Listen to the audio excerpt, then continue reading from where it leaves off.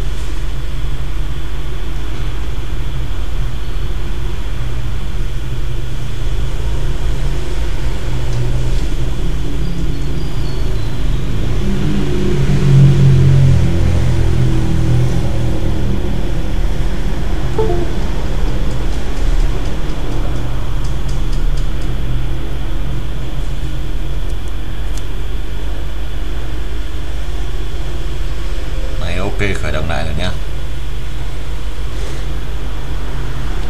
Con này nó cập nhật meta nó mới.